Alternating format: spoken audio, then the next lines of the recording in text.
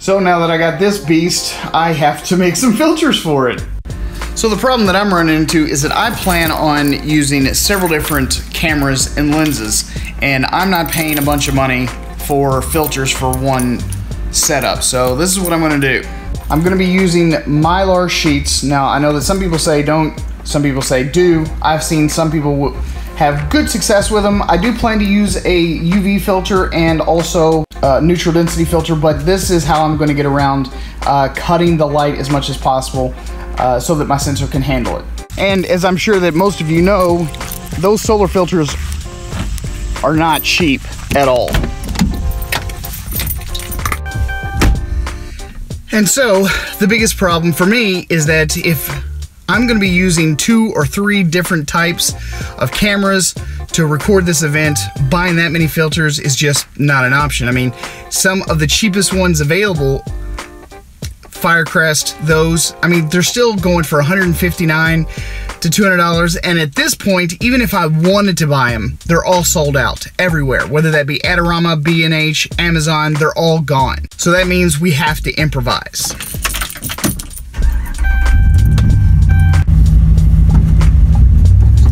Sure that most of you all know that under no circumstances are you going to be able to view the solar eclipse with just Mylar okay? Now you can do it through your camera, but you cannot just hold Mylar up to your eyes and expect it to be okay. It's not gonna be enough. You could really damage your eyes if you try and do that. So if you don't already have a pair of solar glasses, I encourage everyone to still go to the event, go to a viewing party somewhere, wherever it ends up being, and go ahead and try to enjoy the solar eclipse. And I guarantee you there's going to be plenty of people in that area that's going to have glasses either for sale or to share. And I don't think that there's going to be that many people that are not going to be willing to share with you. Unfortunately, I don't have that luxury since I am going to be uh, photographing and everything and videoing uh, with several different cameras. I basically need a filter for every single item that I'm going to be using. So whether that be for my eyes so that I can experience it because even though I'm going to be photographing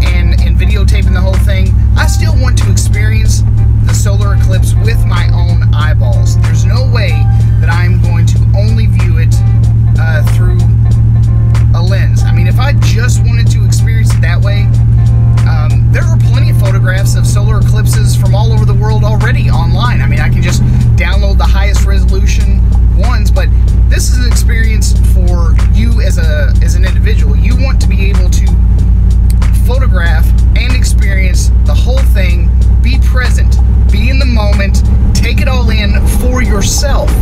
Don't just depend on your camera gear to capture that amazing, amazing event for you. Take it in with your own two eyes as long as you have the proper eyewear. And another thing is that if you are planning to photograph and you haven't gotten your filters yet, there is a chance you can still get some filters um, for your lenses, but you have to understand the law of supply and demand because as of this moment, right here, right now, uh, they are gouging. Every single company that I know of that I've checked out online has has started gouging. Like they have increased the price of like solar sheets and solar film. Something that was worth ten dollars uh, two months ago is now going for forty nine ninety five plus thirty three dollars in shipping. Like it's ridiculous. So don't be a sucker. Uh, you can use Mylar on your cameras. Use a ND filter uh, after that, and then maybe use a UV filter. Um, but don't overpay for solar film. I mean, you can get by with Mylar and Mylar alone on your camera, just not your eyeballs.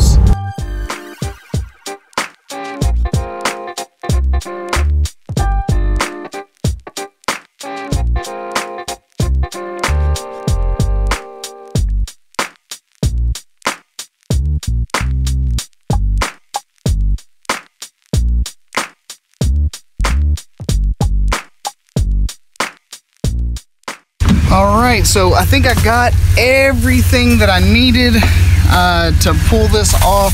I don't know if it's actually going to work or not. I mean, I know that the part um, about holding the, the mylar film together in between these two things, I think that part's going to work just fine, but it's the other stuff that I have a bit of a concern with. So, I don't know. We'll see. Let's head on back to that house.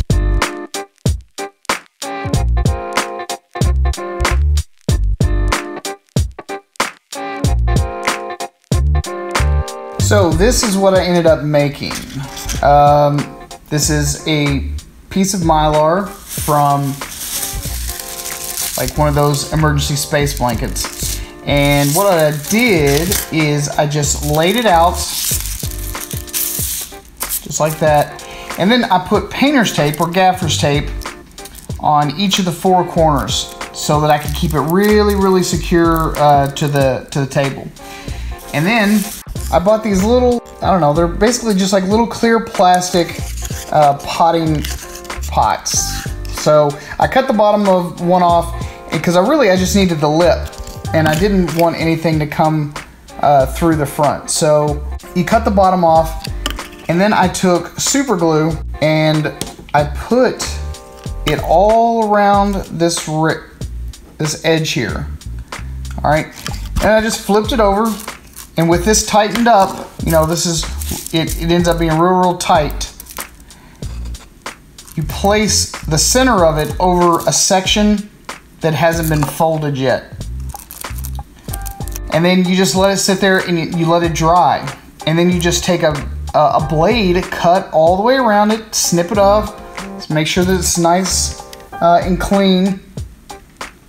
And surprisingly enough, inside the Fujifilm's 100 to 400 uh, lens hood, this slid perfectly down inside. So easy peasy, lemon squeezy. So that's what I'm going to use. Um, probably uh, for a couple of different types of shots. Uh, of course, with the totality, you know, it's real easy. I just grab it, yank it out of there, uh, no problem. Um, and I'm also going to make a couple more of these, perhaps uh, with a different size, uh, to fit around the lenses of the other couple of cameras that I'm going to be taking with me. I'm also going to makeshift another one for my phone so that I can have this lens here protected as well. I think I'm to do just like a really long time lapse of the entire totality and make that happen.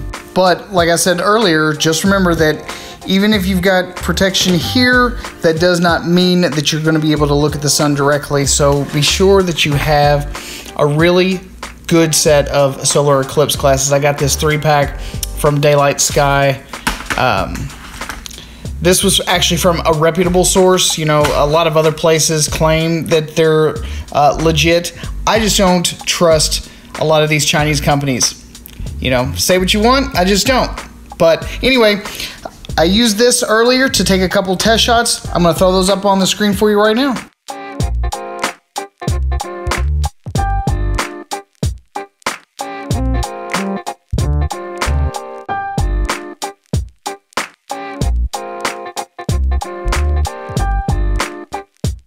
So there you have it. There you go, guys. Uh, I hope this helps somebody out there if you have been kind of trailing behind, or you just weren't able to uh, get one of your solar filters, or maybe you just can't afford one uh, for this event. You know, all of those things are possible.